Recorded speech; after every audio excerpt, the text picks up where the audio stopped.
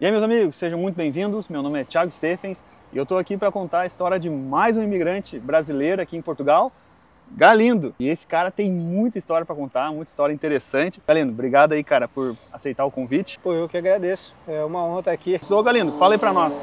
Da onde que tu é lá no Brasil? Eu, eu sou de São Paulo. Eu vim de São Paulo, eu sou nascido em Pernambuco, mas nunca vivi lá. Então eu, aqui eu sempre falo que eu sou de São Paulo. E o que, que tu fazia lá, cara? Eu fui oito anos do Exército. Uh, logo após eu ter saído do, do, Exército, eu montei uma empresa. A gente vendia camisetas uhum. é, no Mercado Livre, online. A gente estampava e vendia.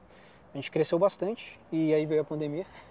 a gente conseguiu segurar a empresa por um ano, e mas chegou um ponto que a gente teve que, que abrir mão. Uhum. Então uh, a gente faliu, vamos dizer assim. Uhum. Então era eu e um sócio e a gente, né, cada um foi buscar um trabalho CLT e tudo. Então foi aí que eu já comecei a me planejar, porque é, era um recomeço e eu não queria recomeçar estando no Brasil. Por isso tu optou por vir para Portugal? Sim. Era, era um sonho a princípio distante, mas conforme aconteceu tudo isso, foi bem antecipado. Ok. E cara, quanto tempo tu já está aqui em Portugal? Uh, mês que vem, uh, em setembro, dia 27 de setembro, eu vou completar três anos. E assim, ó, eu sei um pouco da história do Galindo e sei que ele foi barrado na imigração, velho, quando foi. chegou aqui há três anos atrás. Sim. Cara, conta um pouco pra nós essa, essa parada aí, velho. Cara, uh, bom, eu saí de São Paulo e cheguei aqui de madrugada, resumidamente. Então, cheguei aqui às 5 e meia da manhã, o pessoal seguiu a fila lá, comum, Bom, eu vim uh, como turista com a intenção de, de ficar. Ok. Eu não me orgulho em falar isso, mas ao mesmo, ao mesmo tempo eu sei que eu não fiz uma coisa errada, porque uhum. eu não vim uhum. para cá para fazer mal para ninguém. E chegou na minha vez e foi uma mulher, tinha acabado de abrir o guichê, então eu fui o primeiro a uhum. falar com ela. Então ela foi é, bem, é, bem séria. Rígida. E, tipo, eles já são treinados eles batem o olho e eles sabem quem veio para turistar e quem veio para ficar. Certeza. Então ela começou a fazer as perguntas: uh, quanto tempo você vai passar aqui? Se eu ia ficar em Portugal? E toda toda toda a resposta que eu tinha, ela começava a questionar em cima daquela resposta. E eu tive um problema com uma com a minha viagem de volta. Uh, eu, eu comprei um as minha, minhas passagens numa agência. Expliquei tudo certinho que eu não queria correr o risco, eu queria pagar a ida e a volta sem uhum. problema nenhum. Porém, é, não sei por trás ali o que, que foi feito que quando ela pegou minhas passagens, viu que a minha passagem de volta estava cancelada. Então ela foi até meio debochada, ela falou, ah, era só o que eu precisava. Hum. E aí foi bom, me acompanha. Então fui lá para tal da salinha, a famosa salinha. E quando me chamaram, o agente ele começou a fazer as mesmas perguntas que ela fez só que era ah, várias vezes a mesma pergunta. E aí ele expôs a questão da, da minha passagem. E eu pedi para ligar para a pessoa da agência e eu pensei, meu, eles não vão me atender. Agora são seis horas aqui, sete horas aqui, lá no Brasil ainda é de madrugada. Então, ah, mas por minha sorte, a pessoa atendeu, é, resolveu e emitiu uma nova passagem e tudo. Mas mesmo assim, tipo, continuou, muitas perguntas e tudo, e tipo, eu já tava assim na minha cabeça, meu, vamos mandar embora de volta. E é isso, não sei o que eu vou fazer da minha vida, porque eu tinha vendido tudo, como uhum. eu sempre falo, eu queimei a ponte. Mas eu tinha uma carta convite. E eu não expus porque uh, eu não ia ficar na casa do meu amigo. Ele ia me, me receber o primeiro dia, passear comigo, fazer as coisas, uh, mas eu não ia ficar com ele. Então eu pensei, não, não vale a pena mostrar uma carta convite. Mas ele pegou no fim da pasta. Ele falou, hum. você tem uma carta convite? Eu falei, não, eu tenho. Ele, mas por que você não falou isso antes? E aí eu expliquei isso para ele, falei, eu não vou ficar na casa dele, é por isso que eu não achei interessante expor. Mas ele falou, tá, e começou a perguntar coisas sobre eu e meu amigo. Ele falou, tá, você tem o contato dele aí? Falei, tenho. falei, então me dá. Hum. E ligou para ele. Obviamente ele é português, né? Ele ligou para ele, eles começaram a conversar, ele começou a fazer perguntas sobre mim para ele. Ele foi uh, verdadeiro também, não mentiu nada, as mesmas coisas que, que eu tinha dito. Então ele pegou meu passaporte assim, quando desligou o telefone com o meu amigo, pegou meu, é, pediu meu passaporte, entreguei, ele pegou, bateu o carimbo, jogou assim, falou, hum. pode ir. Hum. Caraca, Quando ele falou véio. pode ir, eu, não, eu peguei, virei as costas e... E tem mais um detalhe aí na tua história, né, cara? Tu veio sozinho e depois tu trouxe a tua família. Sim. Então é mais, uma, mais um fato assim que, que coloca a tua história como extremamente interessante.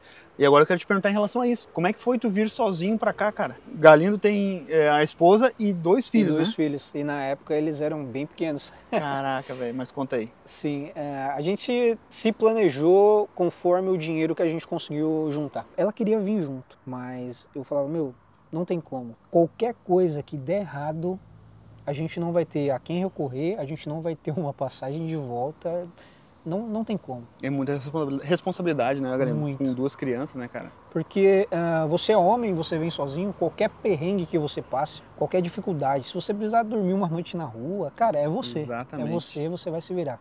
Agora, não tem como um homem é, pensar tendo a responsabilidade de uma mulher e dois filhos. Então a gente não se concordando, mas vendo pela razão, a gente decidiu que eu viesse na frente, mas já com o dinheiro da passagem deles separado, tudo tudo certinho. Ok. E depois de quanto tempo eles vieram? Foi um mês e meio, porque eu consegui fazer as coisas uh, rápido, Uhum. vamos dizer assim. E como é que foi para conciliar a rotina dos teus filhos, da tua mulher, enfim, da tua família, cara? Porque, poxa, querendo ou não, é um casal e duas crianças, né? Sim. Como é que procedeu isso? Ah, é, o começo é, para todo mundo é muito difícil, mas com filhos é, é muito mais. Então, assim que eles chegaram, só eu trabalhava. E pagava uma renda de 350 euros. E a minha mulher ela não pôde trabalhar logo que ela chegou, porque os meus filhos tinham menos de dois anos. E creche aqui, menos dessa idade, é muito difícil. Eu não consegui. A gente, nós fomos em diversas creches, ligamos tudo, mas é, não tinha vaga e não tinha como. A minha mulher chegou em outubro, então a gente ficou outubro, novembro e dezembro só comigo trabalhando. Hum, a sorte que vocês conseguiram um arrendamento barato, Até que assim. tranquilo, até que tranquilo. Era, era um T1, a gente pagava 350 euros, mas aqui também tem aquela situação de que por você ter dois, dois filhos, Uhum. Eu não sei se existe uma lei sobre isso específica, Uhum. escrito, mas é o que sempre dizem, né? Se você tem dois filhos, você não pode morar num T1. Eu já ouvi essa história também e realmente não sei o quanto isso é verdade ou não, mas de fato já ouvi essa história. Sim. E então esse, esse período foi muito difícil, porque para sustentar. Naquela época o ordenado era 660, eu acho. Era tipo isso. Só o, só o aluguel era 350, então foi bem apertado, cara. A gente passou aperto mesmo. Ah, tem uma coisa que eu ah, nem gosto de falar muito, eu até me emociono. Ah, teve um dia que eu saí para trabalhar e tinha um litro de leite em casa, cara Caraca, um velho. litro de leite. E, é, eu trabalhava na obra, consegui o meu trabalho no, no, no primeiro dia, cara. No primeiro dia eu consegui o meu dia. trabalho. O meu primeiro patrão, tipo, foi e eu considero um pai pra mim aqui. Ah, conversei com ele e tudo, pedi um, fui pedir um adiantamento. E quando eu cheguei na casa dele à noite, eles tinham uma cabaça. Fala que é cabaça, Uhum. né? Tipo uma cestinha básica Cesta base. a mulher dele fez pra gente, e, cara, foi muito complicado, até minha mulher começar a trabalhar. E de- ah, depois ah, ela conseguiu um trabalho aqui em Famalicão num, num restaurante, na restauração. E era complicado porque a gente mora a 13, 15 quilômetros daqui, ela entrava depois das 6. Então eu saía correndo do trabalho, pegava ela e as crianças, colocava no carro, vinha pra cá, trazia ela pro trabalho. Ela trabalhava até 11h30, meia-noite. E aí chegava 11h20, 11, é, 11h10, 11h20, colocava as crianças no carro, vinha até aqui Famalicão e buscava ela. Só a gasolina que a gente gastava já diminuía muito o que ela recebia no dia. Foi, foi uma época complicada. Complicada. complicada demais. Ma- mais ou menos quanto tempo, sim, Galindo, que vocês conseguiram ajeitar as coisas, entrar numa rotina? Rotina mesmo foi só quando as crianças. en- é, a, a minha filha foi pra creche Tá, e a gente conseguiu. conseguiu uma ama pro meu filho. Ok. A AMA é uma cuidadora de crianças em casa, vamos dizer assim. Sim, é uma babá que cuida do seu filho na casa dela. Uhum. E aí, quando a gente conseguiu isso, eh, nós dois trabalhando, as crianças têm notificado, a gente conseguiu estabelecer uma rotina. Era, era uma rotina bem puxada, porque eu trabalhava para um lado, a minha mulher trabalhava para o outro, eh, a gente só tinha, a gente só tem um carro, mas naquela Uhum. época ela também nem tinha habilitação. E como é que tu veio parar aqui em Famalicão, Galindo? É por causa desse teu amigo da, Sim. do videogame? É, é, o meu amigo mora aqui em Lousado, mas a princípio eu, eu não tinha decidido vir para cá porque ele, ele mora aqui e tudo, até porque tipo, eu não, não pretendia, vamos dizer, depender dele, Uhum. né? até porque é uma responsabilidade muito grande e Foi eu que conversei com ele com a intenção de vir para cá, ele se dispôs, me ajudou muito nisso, até hoje. É, sempre que eu preciso ele me ajuda. Mas é, eu pesquisei bastante. Uma coisa que eu sabia era que eu não ia para lá para baixo, assim, para Lisboa uhum. ou aquela região. Eu sabia que eu queria ficar no norte porque ah, mais relacionado às fábricas, né? Porque aqui é, o, é o, a região onde tem fábricas e você consegue trabalho mais fácil. Mas eu fiquei em dúvida entre Viana do Castelo, ah, Braga, aqui, aqui nas redondezas, Guimarães, uhum. mas eu pesquisei bastante. naquela época também não tinha muita coisa falando de, de Famalicão. Uhum. Eu lembro que o seu canal tava bem no comecinho, cara. Tava bem no começo. É, três anos atrás, verdade. É, e o que eu conseguia ver alguma coisa assim é, foi o seu canal, bem no comecinho, e alguma coisa ou outra, mas era a gente passando de carro uhum. e tudo. É, mas eu consegui pesquisar e eu falei, não, lá tem muito, muita fábrica, tem a Continental, existiam outras fábricas. Eu falei, não, eu vou ir para lá que eu preciso arrumar um trabalho o quanto antes. E como é que foram as suas experiências com o trabalho aqui? Já passou por muitos? Não, não muitos. É? é assim, por incrível que pareça, conforme a gente conversa com outros brasileiros, sempre o pessoal passa por muitos trabalhos, mas eu passei por três. Três trabalhos? Eu estou no meu terceiro trabalho aqui. No meu primeiro dia aqui, é, primeiro dia, é, vamos dizer, o segundo dia, porque eu cheguei na segunda e eu comecei a Às oito, minha... né? cheguei na segunda e comecei a minha rotina na terça-feira, no segundo dia. Então, ah, no Brasil, eu estava pesquisando nos grupos é, sobre trabalho e, e um homem postou que ele precisava de um ajudante para trabalhar na obra. E eu fui assim, cara de pau, e mandei uma mensagem para ele, falei, ó, daqui uma semana eu tô aí, se você precisar. E aí ele me passou o número dele, falou, quando você chegar aqui, você entra em contato. Quando eu cheguei, assim, eu, eu fiz o meu marco na trofa. Na trofa? Sim, cheguei aqui na trofa, que é aqui do lado, sentei lá na praça. Eu sentei lá, Alguma comecei a a ver a rotina e foi engraçado que eu, eu vi as crianças indo para a escola sozinha e aquilo já me bateu assim uma estranheza, né, que não é algo normal. Chegou ali perto do meio-dia, eu liguei para este homem e falei, olha, eu tô aqui, tô aqui na trofa, se você estiver precisando, uh, tô aqui. E ele marcou um café comigo, lá mesmo na praça, conversei com ele, ele falou, você pode começar amanhã? Falei, claro, hum. posso bah. começar amanhã. E aí, como eu estava hospedado no, no hostel, essa primeira semana a gente se encontrava e ia para a obra, porque era numa obra. Ele trabalha com remodelações, então foi isso. E nesse primeiro dia também eu comprei o meu carro. Bem... Comprei o meu carro, e só que eu não pude sair com ele porque eu não tinha feito seguro e tudo. Bom, então eu trabalhei com ele três meses. E aí eu tava procurando um part-time e ele e os trabalhos também já não, não sei se era pela época, mas também não estavam não tava muita coisa. Ele falou, ó, já que você está procurando um part-time, se você conseguir encontrar uma coisa melhor para você, acho que vai ser melhor para nós dois. Então eu comecei a, a, procurar. Eu vi uma placa perto de casa para trabalhar como serralheiro. Só que eu nunca tinha feito isso na vida. Mas mesmo assim eu fui lá e fiz a entrevista. Então lá eu aprendi a soldar. É, é uma fábrica aqui que monta fogões a lenha. Tipo, aprendi a soldar, era um trabalho muito pesado. Muito pesado mesmo. Uh, eu trabalhei lá um ano e eu me lembro como se fosse hoje.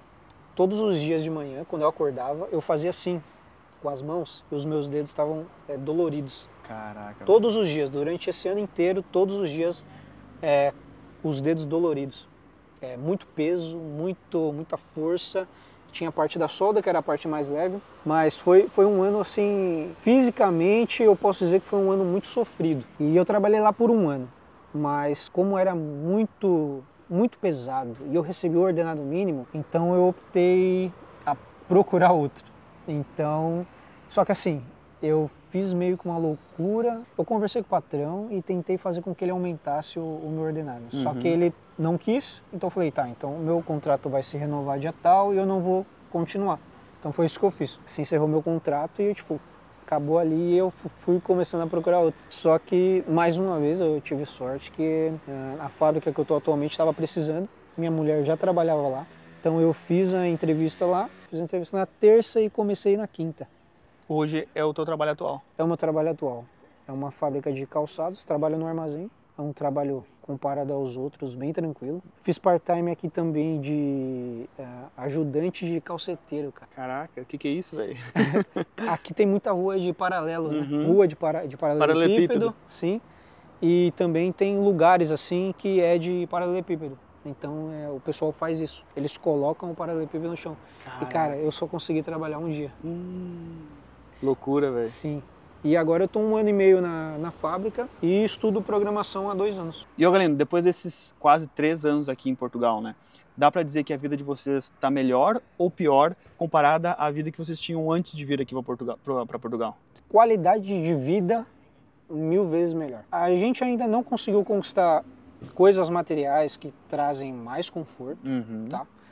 Ah, mas em questão de qualidade de vida não se compara. Como nós morávamos no, morávamos no centro de São Paulo, ah, os seus passeios e tudo é, são aquelas coisas mais tipo ir no shopping, ir fazer compra. Para quem é habituado lá, é um passeio legal e tudo, Uhum. mas quando você tem contato com a qualidade de vida daqui, das coisas que você faz aqui, então você se toca.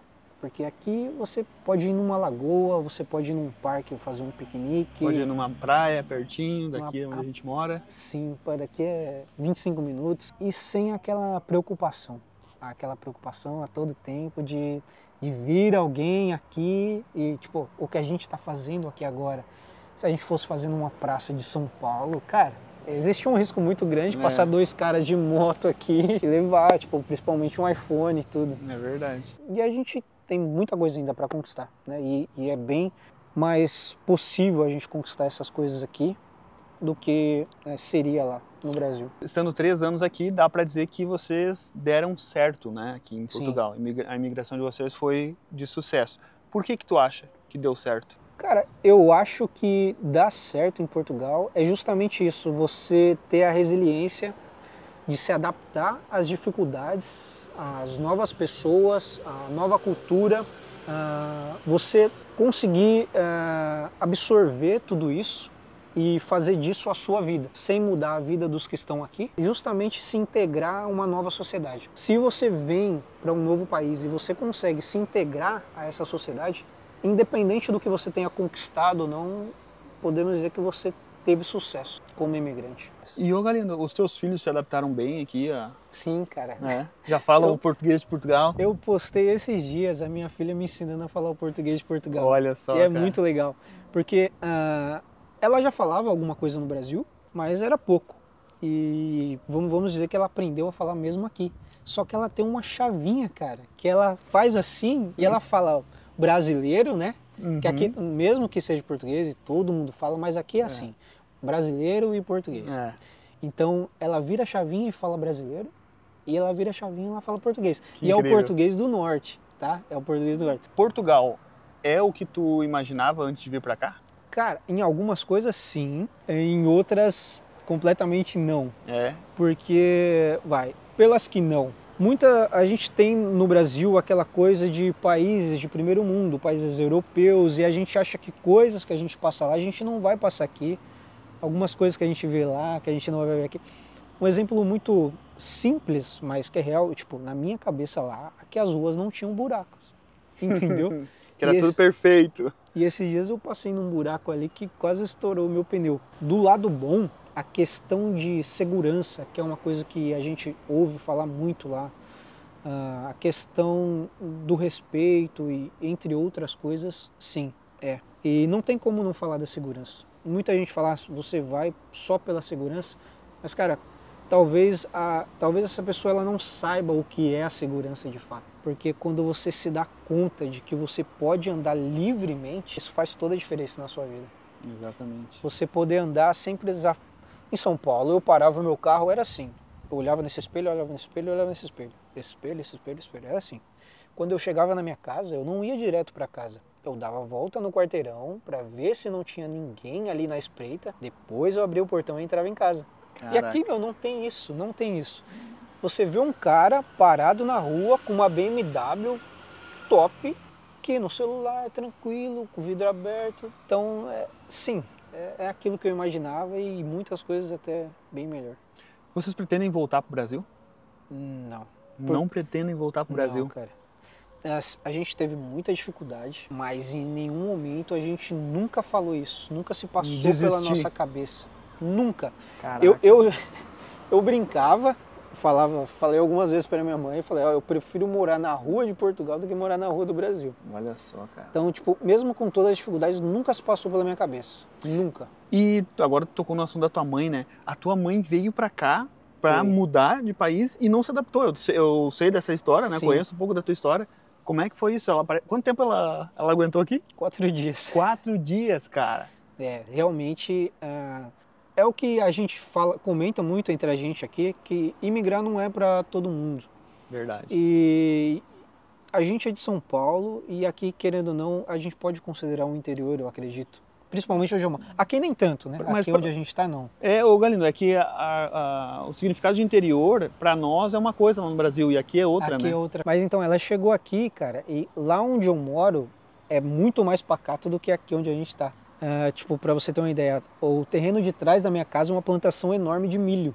Então, é, eu acho que quando ela chegou e ela se deparou com esse cenário, acho que é, alguma coisa na cabeça dela assim. Então ela, é, ela ficou quatro dias, cara, em casa. Quatro dias. Foi. E, e tipo, ela ficava. é, Tipo, ela não queria falar que ela não tinha gostado que ela achava que ela não ia se adaptar e tudo. Eu ainda convenci ela de levar ela na Póvoa, levei ela lá. Por incrível que pareça, ela conheceu o mar aqui em Portugal. Olha só. No Brasil ela nunca tinha ido. Consegui levar ela na praia e tudo, mas ela bateu, bateu o pé e falou: Olha, não vou conseguir. E em quatro dias eu tava levando ela pro aeroporto outra vez Caraca. e ela voltou. E ela é apegada aos seus filhos? Muito, É. muito. Como é que cara. vocês fazem pra lidar com isso? Hoje em dia é o que salva é a chamada de vídeo, né? Você acha que se não fosse isso, a gente liga, acredito que pelo menos umas duas, três vezes por semana. Ela fala bastante Uhum. com eles. Agora as crianças estão um pouco mais agitadas, então às vezes não querem conversar um pouco Sim. com ela. Mas ela é muito apegada, principalmente a Valentina, porque ela é maiorzinha e passou mais tempo com ela. Uhum. O Otto passou pouco tempo com ela. Pra ela e pra gente também é, é um, é um pouco triste. Sim. né? Mas é, são aquelas coisas que o imigrante ele tem que abrir mão pensando no futuro. Depois desse tempo todo aqui, o que que tu considera como a maior conquista da tua família? Seja ela bem material, experiência de vida, enfim, o que que tu considera como a maior conquista da tua família aqui? Cara, eu acho que é justamente ter se adaptado e ter mudado ah, a visão ah, do que é viver. Porque lá nós tínhamos planos, mas basicamente eram voltados a coisas materiais. Mas aqui acho que a gente conseguiu mudar essa visão. A gente, a gente pretende comprar nossa casa, claro, mas a gente tem uma vontade mais de viver, de fazer as coisas, eh, viajar, conhecer novos lugares e e proporcionar assim é, um futuro melhor para os nossos filhos. O bem maior que eu, que eu tive aqui já está sendo, mas vai ser proporcionar aos meus filhos ah, oportunidades ah, maiores e melhores do que eu tive. né? Perfeito. Porque, querendo ou não, quem está na Europa tem, tem mais possibilidade de ser ou ter coisas. É estranho falar isso, mas Sim. é real. Eu vejo que Portugal te prepara para o mundo, falando especificamente de Portugal. Sim, sim. né, para o mundo. E o Brasil já não, o Brasil não te prepara para o mundo. O Brasil te prepara para o Brasil. É, é verdade. Na minha opinião, eu vejo isso, né? E ô Galino, tu tem um canal no YouTube, né, cara? Sim, E o teu canal, ele cresceu muito rápido, foi. né? E hoje tu não tá mais postando vídeo. Por quê? Bom, ah, Até meu- vou deixar o canal do Galindo aqui, se o pessoal quiser se inscrever. apesar de eu não estar postando mais, Mas, mas, tem bastante conteúdo legal. sim. né? O intuito do meu canal era mostrar para as pessoas que têm um sonho de que é possível. Porque quando a gente está no Brasil, a gente tem um sonho, só que as informações estão é, espalhadas e, e a gente não, a gente precisa às vezes ter alguém como referência, porque muita gente acredita que vê isso em você. E eu queria que vissem isso em mim também. Tipo, eu queria ser um ponto de referência para mostrar para aquelas pessoas que se ela tem um sonho, é possível. Eu mostrava minhas dificuldades, mostrava minhas conquistas, mostrava tudo que era bom, tudo que era ruim. E posteriormente eu comecei a, a como eu comecei a estudar programação, eu iniciei um novo projeto, que é o Zucagram. Ah, legal. Então eu comecei a, é, a priorizar, né? Uhum. eu continuo com a mesma ideia e mi- e missão, vamos dizer assim, de que as pessoas possam se ajudar, os brasileiros. Então, é, eu fui deixando o canal um pouco de lado e trabalhando nesse projeto. E fala pra nós aí um pouco mais desse projeto Zucagram. Sim. Apresenta pra galera aí. Cara, o Zucagram, ele é uma rede social com o intuito de conectar brasileiros ao redor do mundo. Legal. Então lá nós temos muitas pessoas de Portugal, temos pessoas dos Estados Unidos, da França, da Alemanha, da Austrália. Já é, nós estamos alcançando os primeiros mil usuários. Então é uma rede social onde você possa compartilhar as suas experiências como imigrante, onde você possa ter informações do que fazer se você pretende migrar, pedir ajuda, conselho. Lá nós temos uma inteligência artificial voltada para a imigração, então se você tem qualquer dúvida, você pode perguntar, Legal. que ela vai conversar com você como se fosse uma pessoa, isso é, é muito é, fantástico. Então é isso. É, o Zucagram é uma rede social voltada para brasileiros ao redor do mundo. Que legal. Vamos deixar então o link aqui do, do, Do app? do aplica- do aplicativo, né? Sim. Beleza, vou deixar aqui na descrição do vídeo. Quem tiver interesse aí, dá uma olhada. Quem está se preparando já para emigrar, é interessante Sim, dar uma olhada aí, porque pode ser é, benéfico, né, meu? claro. É, se você está no Brasil se planejando, você pode postar lá suas dúvidas, você pode conversar com a inteligência artificial e a ideia é essa, que os próprios brasileiros se ajudem. Que legal, cara. E isso veio de um novo projeto que tu alçou para tua vida, que foi entrar para a área de TI. Sim, E tu não tinha nenhuma experiência na área de TI. Não. É, assim, no Brasil, eu, como eu fui de um quartel de, de comunicações, então eu tinha contato, eu sempre tive contato com a, a informática, mas nunca com o lado de programação. Toda a minha experiência que eu tive com informática foi questão de, de ah, consertar, né? Não, não, não foi do lado do software Uhum. entendeu? Então eu decidi é, começar a estudar realmente a programação, é, uma linguagem de programação, e é o que eu venho fazendo aí por dois anos. Ó, que legal, cara. E tipo assim, não fez nenhum curso superior, é curso técnico, basicamente? É, Basicamente eu estudo pela internet, Olha aí, cara. é, todos os cursos que eu fiz foram pela internet. Agora eu estou começando a fazer entrevistas de emprego, é, fiz duas entrevistas semana passada.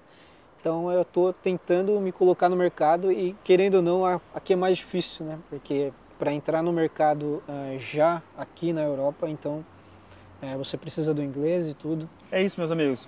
Assim, ó, história inspiradora do Galindo aí. Espero que ela sirva, sirva de exemplo para outras pessoas. Mostra que se você tem força de vontade, tem determinação, né, para encarar o processo, né? Sim, é um grande processo. Processo longo e, e árduo, né? Você consegue, cara. Apesar de todas as dificuldades que tem aqui em Portugal, é, hoje o, o Galindo está aqui com a família toda dele, feliz. Então é isso. Espero que vocês tenham gostado. Muito obrigado, Galindo, por compartilhar aí a tua experiência com nós. Um beijo no coração de cada um de vocês e até o próximo vídeo. Tchau!